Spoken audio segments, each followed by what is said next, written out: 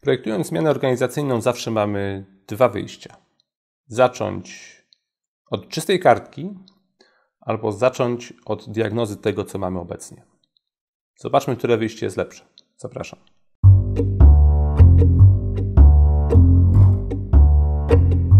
Cześć. W zarządzaniu mamy szereg różnych metod y, wdrażania y, rozwiązań organizacyjnych, zmian organizacyjnych. Te metody generalnie możemy pogrupować, czy podzielić na dwie grupy.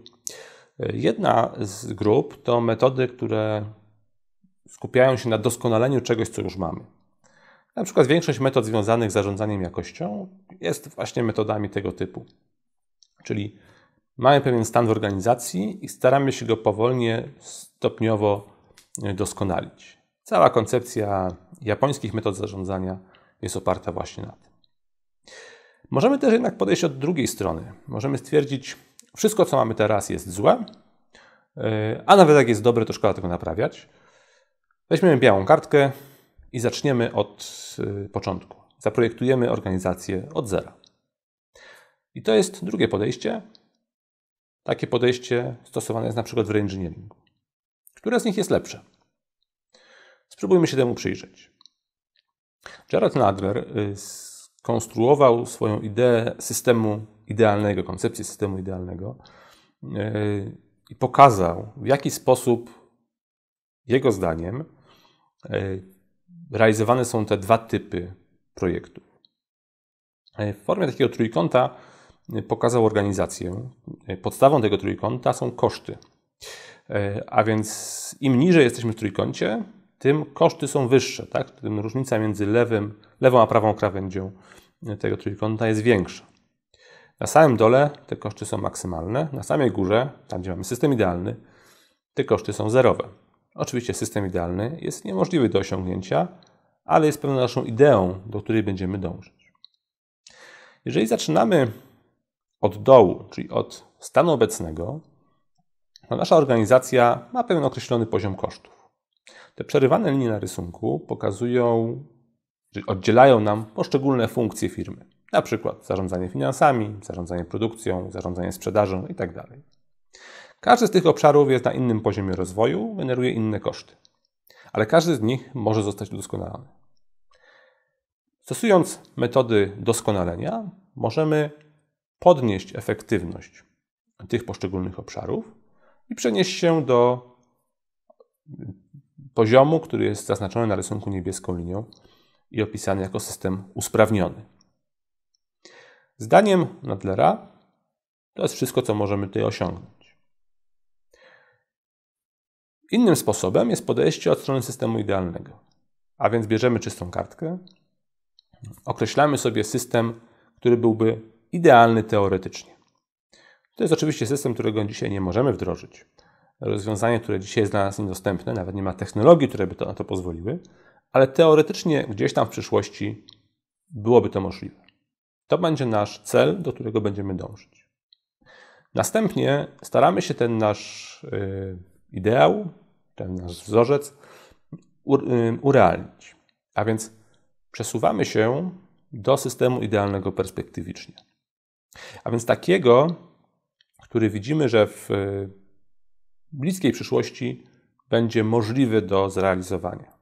Jeszcze nie jest dla nas dzisiaj osiągalny, ale technologie, które chcielibyśmy wykorzystać, już są. Może jeszcze nie są do końca rozwinięte, ale już być może liderzy rynku y, te technologie zaczynają wykorzystywać.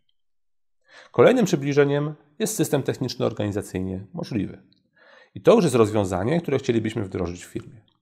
A więc znowu trochę oddalamy się od ideału, ale wciąż staramy się utrzymać ten kierunek.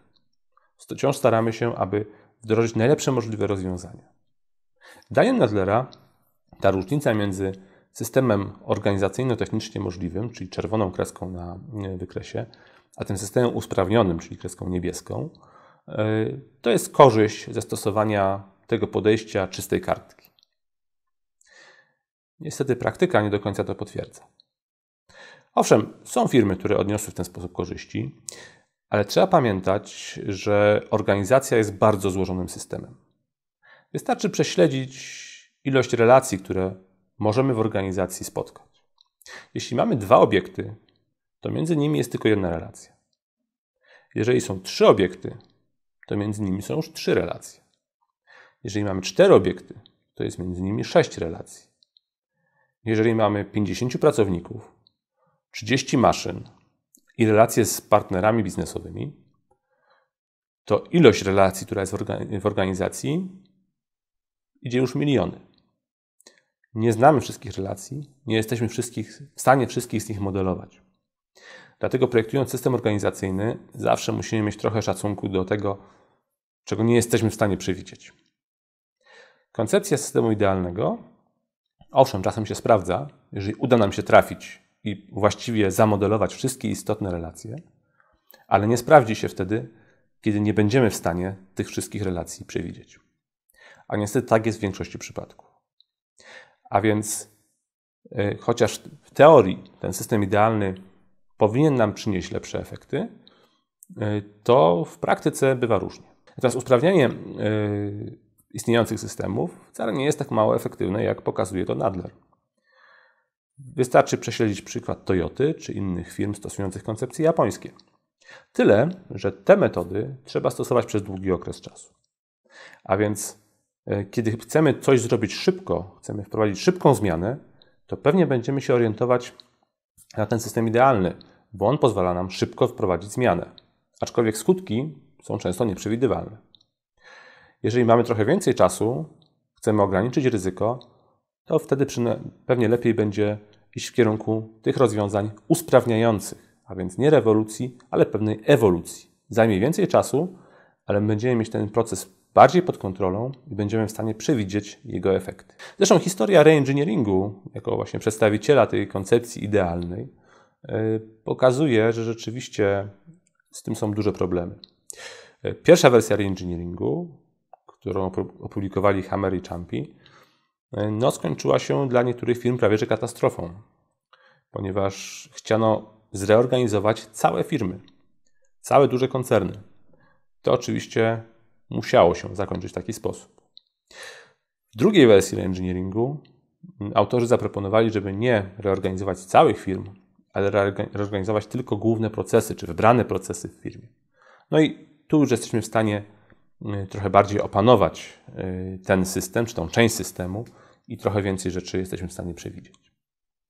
A więc, kiedy wybierasz sposób wdrożenia zmian w organizacji, zawsze zastanów się, czy chcesz iść w kierunku usprawnień, co zajmie trochę więcej czasu, ale będziesz mieć proces pod kontrolą, czy w kierunku systemu idealnego, projektowania od zera, co może przynieść różne skutki.